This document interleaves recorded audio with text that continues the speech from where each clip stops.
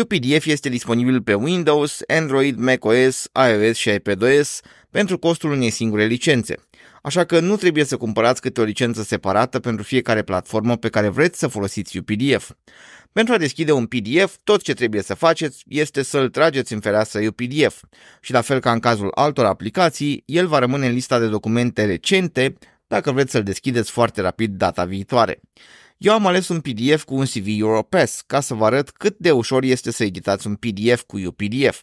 Pentru a începe să-l editați, mergeți în partea stângă și alegeți instrumentul de editare. Să zicem că vreți să înlocuiți imaginea gri cu o altă imagine. Nimic mai simplu, click dreapta pe ea, apoi Replace Image, selectați-o din calculator și apoi, voilà, aveți o altă imagine. Dacă vreți să modificați textul din PDF, e la fel de simplu.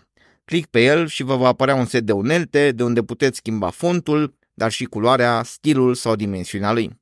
La fel de ușor e să ștergeți de tot textul apăsând asta Backspace.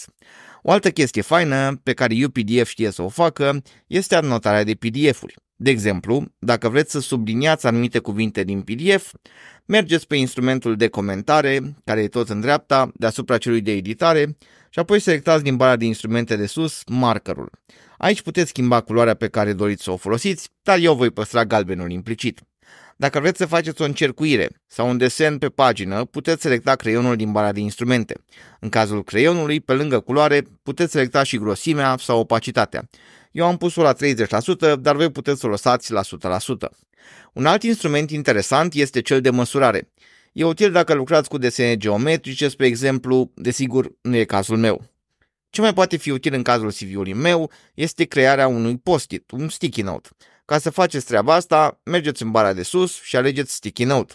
Așa puteți adăuga o notiță în PDF dacă vreți să-l trimiteți cuiva și doriți să faceți un comentariu pe marginea PDF-ului. Tot în partea stângă este și instrumentul cu care puteți crea formulare inteligente, adăuga câmpuri text, butoane de selecție radio, butoane simple, bife, liste de tip drop-down sau semnături digitale. Încă o chestie interesantă la UPDF este posibilitatea de a ascunde părți din PDF. Dacă vorbim de text editabil, tot ce trebuie să faceți este să-l selectați, iar dacă vorbim de text scanat, puteți pur și simplu să faceți o selecție oriunde în pagină. De asemenea, orice PDF deschis cu UPDF poate fi exportat în format Word, Excel, PowerPoint, document text sau HTML. Această funcție se aplică și PDF-urilor scanate, pentru că UPDF știe și OCR, Optical Character Recognition. A, era să uit, cu ajutorul UPDF puteți aranja foarte ușor paginile într-un PDF, mergeți la instrumentul de aranjare a paginilor și o să vă arate pagina curentă selectată cu MOV. Ca să rearanjați paginile în PDF, pur și simplu trageți o pagină în locul unde ați vrea voi să fie. De aici puteți insera pagini, înlocui pagina selectată sau face crop la pagini. Un ultim instrument de care vreau să vă povestesc este posibilitatea de a proteja un PDF cu parolă. Aveți parolă pentru deschidere care nu permite vizionarea PDF-ului și o parolă care nu permite modificări la PDF sau printarea lui. Tot ce v-am prezentat până acum sunt funcțiile din UPDF Pro, dar pe lângă astea, UPDF mai are o serie de funcții AI care sunt destul de interesante și care m-au surprins plăcut. Pentru a vi le demonstra, am luat ca exemplu un alt PDF care conține piesa de teatru O scrisoare pierdută de Ion Luca Caragiale. Toate bune și frumoase. Pentru a accesa instrumentele ajutate de AI, trebuie să dați click pe butonul ăsta din partea dreaptă jos. UPDF are mai multe tooluri AI interesante, printre care sumarizarea unei pagini din PDF sau unei selecții de text. Deocamdată însă unele instrumente sunt disponibile doar în limba engleză și sper ca pe viitor să fie adăugată și limba română.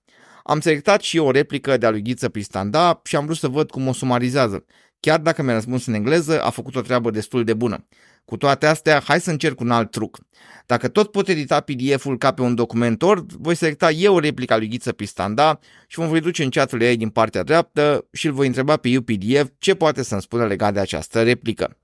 Și, ce să vedeți, răspunsul a venit în limba română, nu în limba engleză așa cum aș fi așteptat eu și de la acest răspuns pot dezvolta mai departe cu o altă întrebare. Ia să vedem dacă UPDF consideră că ghiță pristanda este un instrument politic folosit discreționar de către prefect. Fără să mai dați vreun alt citat din piesă, UPDF se folosește de informațiile pe care deja le găsește în document și poate genera răspunsuri nu doar pe baza unui simplu citat, ci a întregului document PDF, ceea ce mi se pare foarte tare. Ultima întrebare pe care i-am pus-o AI-ului din UPDF a fost dacă Ghiță Pristanda se folosește de situația lui familială pentru a avansa în carieră.